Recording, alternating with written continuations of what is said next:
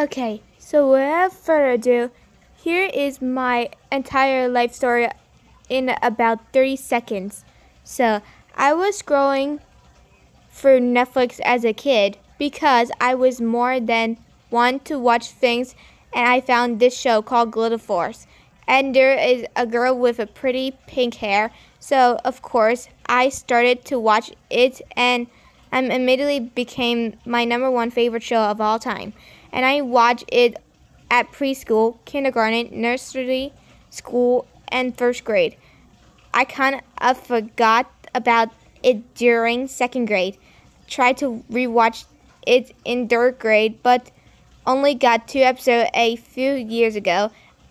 I got a bit back into Glitter Force again. But this time I know how to Google search. So I was in Google searching things about Glitter Force and I found out that it was a dub of this anime called Smile Precure. and they changed all the names? How could I not have noticed that? So yeah, now I am a big weave of Pretty Cure. Now, and I know the truth about Glitter Force. And what does it talk about a disaster that this dub is? I felt so ba- bad saying that it was a disaster because this dub is part of my childhood. But at the same time, the Explorer is also part of my childhood. So let's talk about some things who can make Glitter Force like an absolute disaster and why it is frowned upon for the whole entire Pretty Cure fandom. So, with this being said, let's start the video. Okay, so to start things off, they literally changed their names of every single character in the show, and I will understand. If their name sounds a, a little bit just like in the Japanese names, like in Glitter Force Doki Doki, uh, they're a character called Makoto. Oh, um, one more thing. If I should say any of those Japanese names wrong, I'm sorry, but anyways, there is a character named Makoto, and she is changed to Mackenzie. And I said that this is a decently good switch. But in this one, Mayuki to Emily, Akan to Kelsey, Yayo to Lily, Niall, yes. I definitely said it wrong to April and Rika. To I forgot about her name, Chloe. What? Oh my god. They're also changed their names of the magical girls, so they're changed it from Cure to Glitter. Why it's so girly. But here is some much even more creative. Cure Happy to Glitter Lucky. And can I just said that really?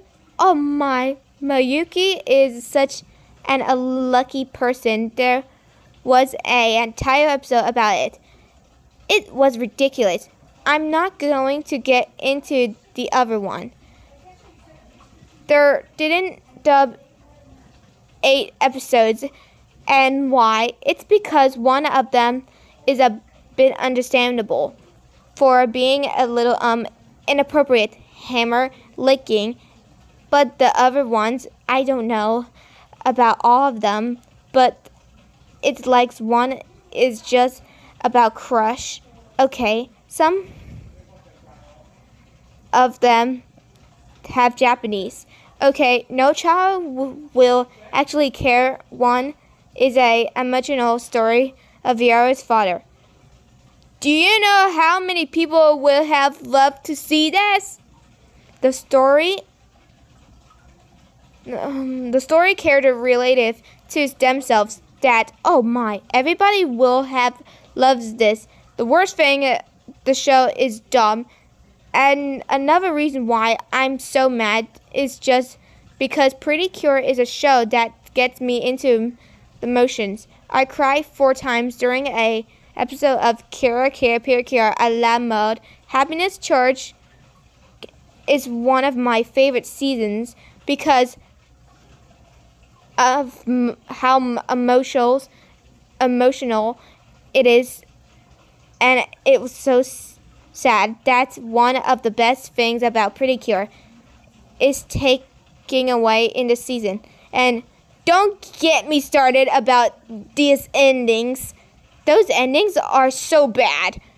I had an and a title chat with my friends about how much bad those are. The endings are so bad. It's and embarrassing. Look for Netflix. The endings are so bad. They deserve their own rant sessions in this video.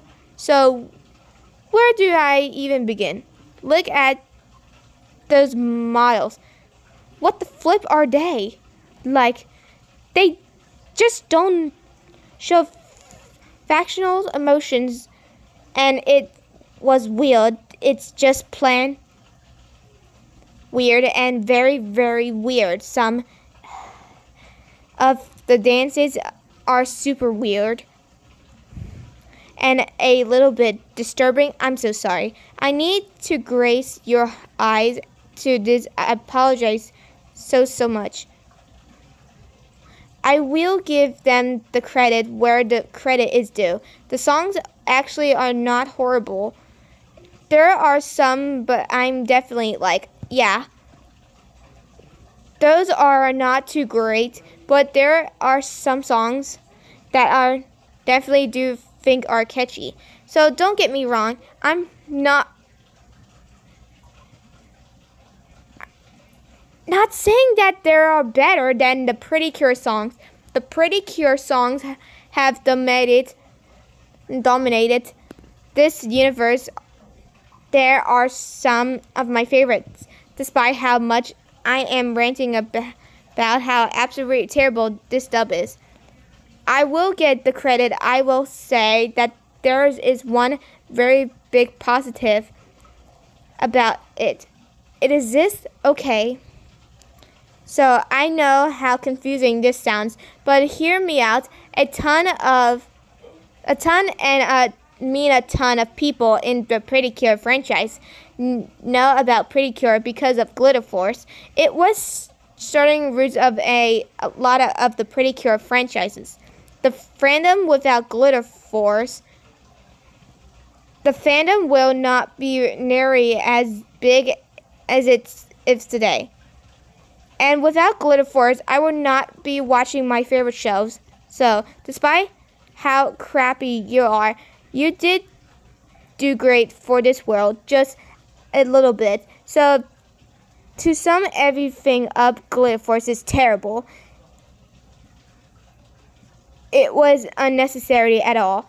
It didn't need to exist, and despite all the negatives that it got from the Pretty Cure fandoms, there's a sequel! Anyways, I hope you enjoyed this video. I actually didn't write a script for this video. I wing the whole thing. You must have been able to tell. If you're enjoying this video, please like and subscribe. I'll make a lot more Pretty Cure videos. And also, I make Invader Zim videos, Undertale, Scenario, and Steven Universe. So yeah, bye!